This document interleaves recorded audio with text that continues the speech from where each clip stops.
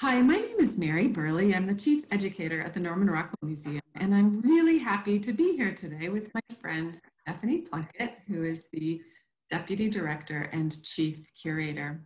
And we are here today to talk about some really wonderful images.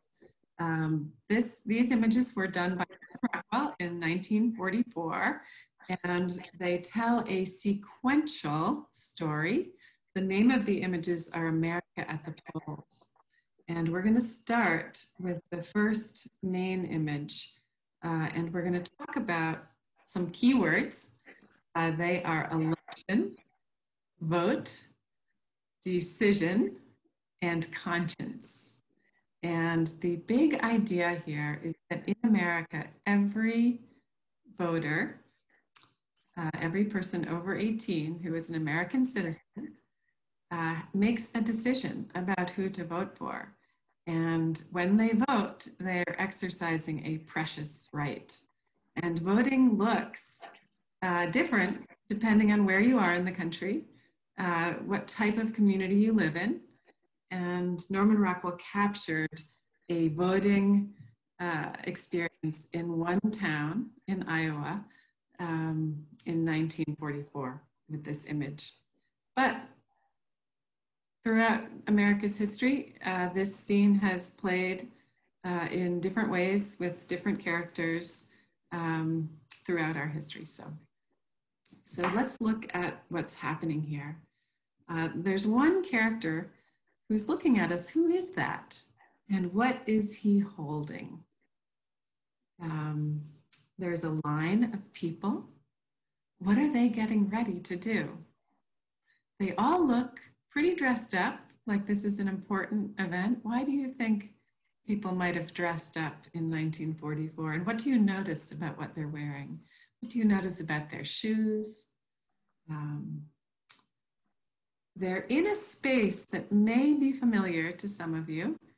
Um, I'm actually going to tell you it's this, it's a school gym.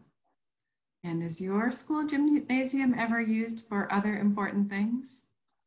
Um, so this is a school gymnasium that's being used to, for voting. And there are people who are checking voters in. What are they wearing? They're wearing, one thing they're wearing is coats. Why do you think they might be wearing their warm coats on this day? There are also people checking to make sure everything is, Who are those checkers? And what are they doing?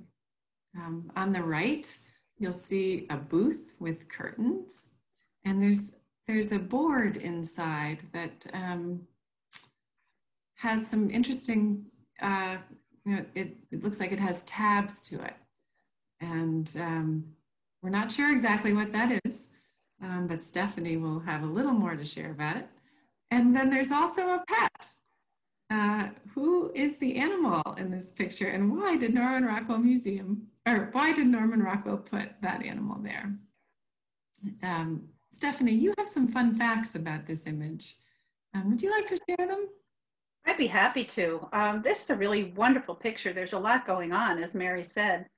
Um, in 1944, when Norman Rockwell painted it, President Franklin D. Roosevelt was trying to obtain a fourth term as president. And he was going up uh, the Republican Thomas E. Dewey. And of course, President Roosevelt did win the race that year. The other thing that's really fun is that Norman Rockwell, who lived in Arlington, Vermont, traveled to the Midwest to Cedar Rapids, Iowa, to create um, this picture. And the nice thing is that he chose the citizens of Cedar Rapids as the subjects for the work especially the janitor of the elementary school, who was not actually named um, Mr. Wimple. Uh, he was named Edward Bernsdorf. And he was cast as the lead character in all of the images, which we're going to look at in just a few minutes. So um,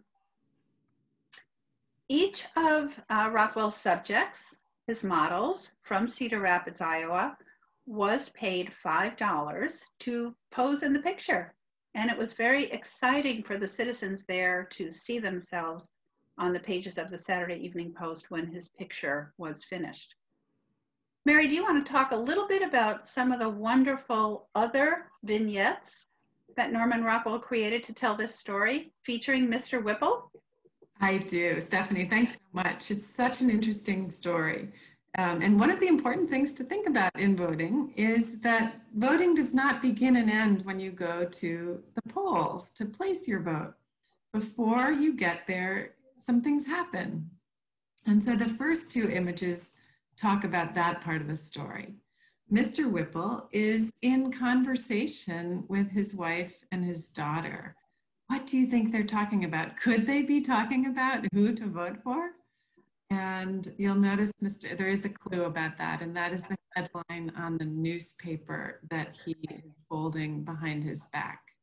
So we wonder, did he read the newspaper and now is he checking with his family about how they feel about who to vote for? Is this a family conversation? Um, we think it probably is, and we also think that's a good idea.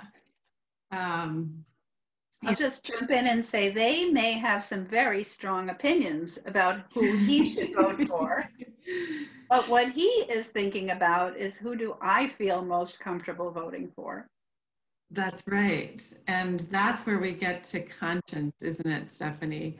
That at the end of the day, each voter votes based on their own conscience, their own decisions. All of this research and reading and talking with family and friends is important, but at the end of the day, each one of us makes our own decision. And that's an important part of the process.